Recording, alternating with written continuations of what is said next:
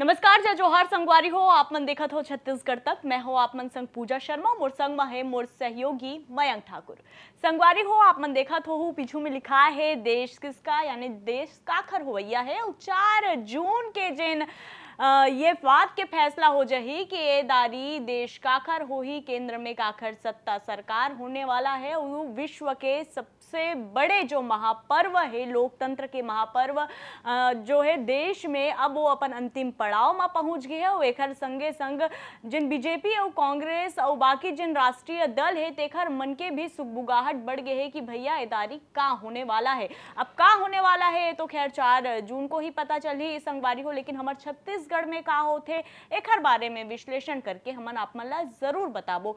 त सबसे बड़े जिन बात है, यहाँ पर इदारी के जो लोकसभा चुनाव है, काफ़ी सारा तरीका से अगर देखा तो बहुत नयापन है बीजेपी और कांग्रेस। दोनों जन अपन नवा चेहरा ला यहाँ चुनावी मैदान में उतारे है। कई जन नेता ऐसे है जिन पहली बार यहाँ लोकसभा चुनावी मैदान में उतरे है। लेकिन कांग्रेस का करी से? साल 2023 के विधानसभा चुनाव, जिन ज़्यादा देर नहीं हो है, बीते युगला ज़्यादा दिन के समय नहीं हुए, लेकिन एमा कांग्रेस लमलिस करारी हार। तब सब मानत रही से कि भैया, अब तो हार मिल गए कैसे उबर ही कांग्रेस है काबर की लगातार फूट देखे मिलिस आपसी कला देखे मिलिस लेकिन कांग्रेस जैसे बिसात बिछई, जैसे रणनीति बनई के बीजेपी चौतरफा घिर गए। अब एमा नाम आथे कांग्रेस के ओ दिग्गज मन के, जेन हाँ बीजेपी पर काफ़ी ज़्यादा संकट बने हुए है। कौन वो दिग्गज हरे और कौन कौन सा ऐसे सीट है? जी हाँ बीजेपी एदारी भले ही अ, जीत के ओखर इन सीट मन में रिकॉर्ड काफ़ी पुराना हो ही। कोनो सीट में 20 साल ले जीता थे कोनो सीट में बीस पच्चीस साल ले जीता थे लेकिन ये दारी कांग्रेस जो है एमा सेंध मारी करे में करीब करीब सफल नज़र आते जिन हिसाब से आकलन निकल के आती कोनो दिग्गज है और कौन सा सीट में बीजेपी के मुश्किल बढ़ा दे है कांग्रेस एमा बात करबो। मयंक आप मन से मैं सीधा सवाल लेना चाहता हूँ कि भाई ये दारी जो कांग्रेस है तेन आर ओ पार के लड़ाई लड़े है।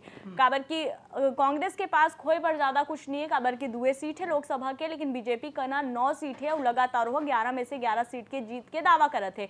अति उत्साहित एकर सेती घलो मयंक काबर की मोदी के चेहरा मेदारी के पूरा चुनाव लड़े गए है। और मोदी लहर में जैसे साल 2019 में हम देखें कैसे सत्ता पलट गए? और 2023 में सत्ता पलट गए, मोदी लहर ला हमन देखा था त ए दारी भी इतना विश्वास हो गए बीजेपी वाले मन ला कि भैया मोदी लहर चलत है और मोदी लहर में तो हमन गंगा नहा लेबो। लेकिन जो कांग्रेस के रणनीति ये दारी है, ए रणनीति या बीजेपी बरकत का ज़्यादा संकट दे साबित होते आप मन कत का कुछ समझ पावत हो? बिल्कुल, पूजा, आप एक लाइन बोले हो जो कि कांग्रेस के पास खोए बर कुछ नहीं है। काबर भाई, खोए बर, काबर कुछ नहीं है। काबर के उमन सत्ता सरकार ला खो चुके हैं भाई।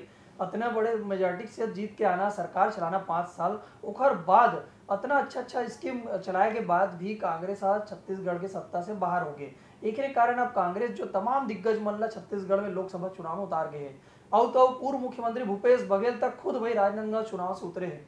तो कहीं ना कहीं कांग्रेस जो है छत्तीसगढ़ के 11 सीट में बहुत दमदारी चुनाव लड़े हैं। हम देखे हैं कि कांग्रेस में चाहे भूपेश बघेल राजनांदगांव भले चुनाव लड़त रही लेकिन छत्तीसगढ़ के 11 सीट पर लगातार वो लड़त दिखी भले वो पहला चरण के चुनाव में अपन राजनांदगांव फंसे रहे, लेकिन वो पहला दूसरा चरण के बाद पूरा छत्तीसगढ़ में माहौल बना दिखी से। एक अलावा बात करें तो भाई, कवासी लखमा दादी है, जो आज तक कभी चुनाव नहीं हारे, बस्तर से वाला चुनाव लड़ाई से भी जो कांग्रेस है, बल्कि कांग्रेस वहाँ पर प्रयोग करी, कांग्रेस वहाँ पर दीपक बैद जो प्रदेश अध्यक्ष है ओला टिकट ना देख के काबर के चुनाव बहुत ही, कांग्रेस पर बहुत प्रतिष्ठा के चुनाव है। कांग्रेस एक एक सीट में जो टिकट दे है, प्रत्याशी ला भेजे है, बहुत सोच समझ के प्रत्याशी उतारे हैं। हम देखिए बस्तर में बस चर्चा के चलत रही तो इसे लगा दी कि दीपक बैस का टिकट तो कोई हाल में नहीं कट सके। भाई काबर के प्रदेश अध्यक्ष भी है, लेकिन कांग्रेस चौकाईस वहाँ पर कवासी लखमा वहाँ पर चुनाव लड़ाई पर भेजे है। और कवासी लखमा पर दमदारी चुनाव लड़ाई हम देखे हैं कि कवासी लखमा प्रचार पर भले उतना नेता मन नहीं पहुँचे, लेकिन कवासी लखमा जो अकेला योद्धा के तरी, से, तरीका से पूरा चुनाव लड़े, कभी मुर्गा लड़ाई करत दिखी, कभी ईवीएम की आवाज़ निकालते, कभी मोदी के खिलाफ बयान देते, कभी वो तीर कमान चलात दिखते तो कवासी लखमा ठेठ जो आदिवासी अंदाज में थे, बस्तरिया अंदाज में चुनाव लड़ी से वो बहुत बीजेपी पर मुसीबत बढ़ाए भी काम वो करे है। वहीं देखें भाई, कोरबा सीट में, कोरबा सीट भी जो है, वो महंत परिवार के दबदबा वाली सीट है हमन देखा रहे कि कोरबा सीट में हो सकते प्रत्याशी बदली, लेकिन वहाँ पर फिर से मान परिवार के ज्योत्सना मान जो सांसद है फिर से दोबारा टिकट मिले हैं। ये बात अलग है, वहाँ पर बीजेपी भी प्रयोग करे है।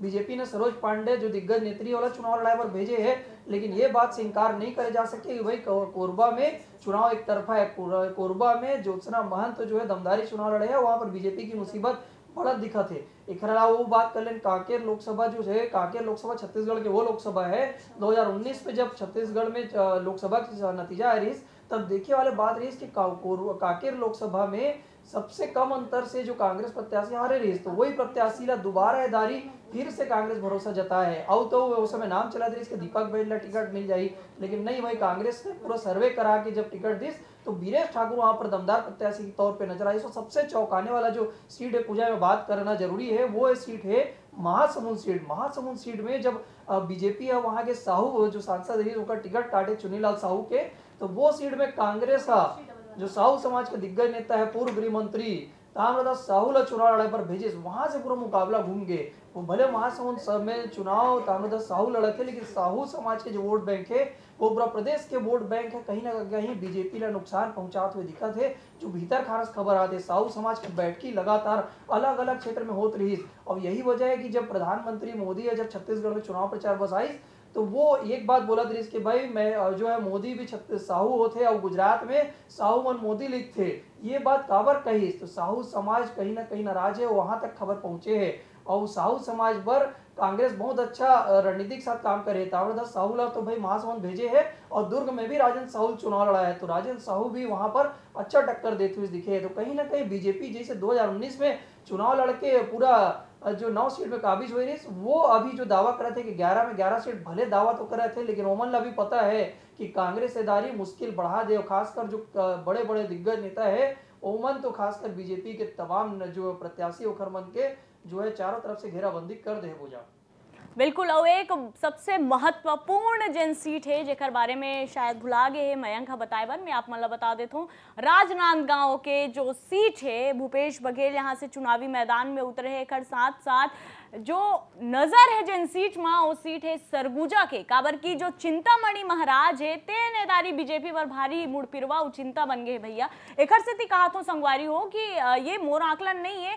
जेन हिसाब से लगातार वो पाला बदलत रही से पहली वो बीजेपी में रही से टिकट नहीं मिलिस था कांग्रेस में आगे, फिर कांग्रेस में टिकट नहीं मिली वो बीजेपी में चल दी तब जो बीजेपी के खुद के जो स्थानीय नेता है, कार्यकर्ता मन है तेखर अंदर काफ़ी ज़्यादा आक्रोश व्याप्त है। और होना भी चाहिए कि भैया ते बार बार पाला बदलतस अगर तोर में भावना है, सेवा भावना है कि भाई मोला स्थानीय जो लोगन है, तेखर अगर मोला सेवा करना है तो ते तरह से काबर पार्टी के दल बदलतस यानी ते कोई एक पार्टी के लिए विश्वास पात्र नहीं हो सकस। ते वो पार्टी में जावे जिन हतोल टिकट दी तो ये जो भरोसा है, वो थोड़ा कहीं ना कहीं जनता के भी डगमगा गए है, वो नाराज़गी बीजेपी नेता मन में भी है। अब ओखर दूसरा छोर अगर देखन तो शशि सिंह है, जिन युवा नेत्री तेज तर्रार नेत्री है और बीजेपी यहाँ लगातार जीता था। थे 20 साल ले बीजेपी 20 साल ले ज़्यादा हो गए जब बीजेपी यहाँ जीता थे। लेकिन का हुई से जब साल 2019 के चुनाव हुई से ते रेणुका सिंह जीती ज़रूर, लेकिन लापता सांसद के लगातार वहाँ पर पोस्टर घलो निकाले लगे रही से।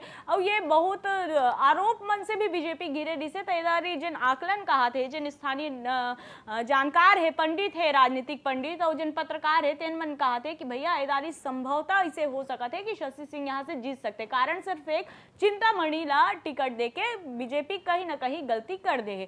अब गलती हरे कि अति उत्साह हरे, ये देखना काफ़ी रोचक हुई और जैसे कि महासमुंद के बारे में आप मतलब बताई से, त ए जब देखथन हमन जब समाज विशेष के बात होते त जे सामाजिक व्यक्ति है जिन कोई एक विशेष सम, समाज से जुड़े होते तो वो हा एक और अपन नेता नगरी रखते और दूसरा कोती रखते अपन समाज ला। त एला देखत हुए एक आरो ये भी निकल के इस संगवारी हो महासमुंद में कि जिन साहू नेता है, बीजेपी के। तेनो मन हा भीतर खाने कांग्रेस ला वोट दे है, इसे हमन नहीं कहा था ना, इसे जब वहाँ पर से चौपाल करे हैं ना, जो पत्रकार है, तेन मन बताइसे कि उखर मन के लिए समाज बहुत ज़्यादा महत्वपूर्ण हो जाते है। साहू समाज खासकर अपन समाज ला आगे बढ़ाए बर एड़ी चोटी के ज़ोर लगा हमेशा नज़र आते कल ओखर जो प्राथमिकता है, वो अपन समाज के लिए ज़्यादा हो जाते यही बीच ताम्रध्वज साहू का करी से चुनाव से पहली, यानी कि वोटिंग से पहली बैठका करते हो। बैठका करे के बाद का करते हो? जम्मू अपन सामाजिक लोगन मन ले माफ़ी मांगते हैं कि भैया मैं आप मन बर कुछ कर नहीं सके हूँ, लेकिन विश्वास दिलाता हूँ कि इदारी अगर आप मन मोला जिता हो तो मैं ज़रूर आप मन के लिए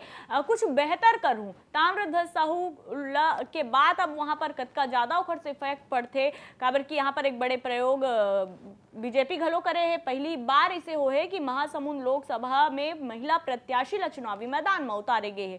अब भाई, एक कोती सामाजिक वोटर है, एक कोती समाज है, एक कोती धर्म है, एक कोती चेहरा है, और एक कोती मुद्दा है। अब ये चारों में से काकर ऊपर छत्तीसगढ़ के जनता मुहर लगा है। ये बात के जो फैसला है चार जून को हो जाही और यही बीच एक जात जात आप मतलब बड़े जानकारी भी मैं दे दो संगवारी हो कि एक तारीख को आते सबसे बड़े एग्जिट पोल, जेमा महा कवरेज दिखाई आप मल्ला छत्तीसगढ़ तक, हा। तब बने रहू और बताबो के दादी जो आकलन अनुमान है वो का कुछ कहा थे। और यही जानकारी के साथ आप मन से मैं विदा लेना चाहता हूँ। जय जोहार, नमस्कार।